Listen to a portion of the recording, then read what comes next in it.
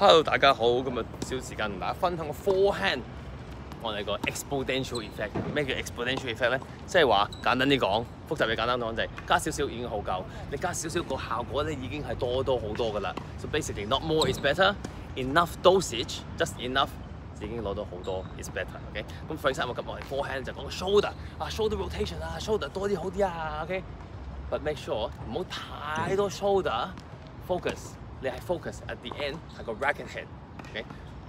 個 shoulder 係幫嗰個 racket speed up，so that 你隻手唔會做晒個動作，但你隻手係放鬆去之後 pronation，令到嗰個力去晒拍球嗰度嘅。So basically 你係有做 shoulder，but not shoulder dominant 成件事啊。So 你 shoulder 勁到係咪？即係變咗好似太勁啊，食唔上佢係 rather 你 shoulder 係幫個 movement。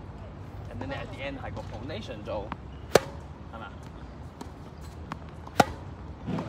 個 racket head 去 dominate 個 movement 啊！記住咧，你啲大肌肉啊，嚟 shoulder 啊、leg drive 啊，係幫個 movement。咁呢個咧非常重要嘅 concept，我同大家 share 就記住加少少已經好夠，relax rally 啊嘛，輕鬆啊嘛，唔好好似我以前咁樣加多啲會覺得好啲嘅。我都犯過呢個錯，所以我唔想你哋做呢啲嘢。So that's why 喺我哋嘅 lesson 入邊咧，one to one，我哋 show paper 就係 step by step and how to develop forehand、backhand、serve 其他 steps on the strokes。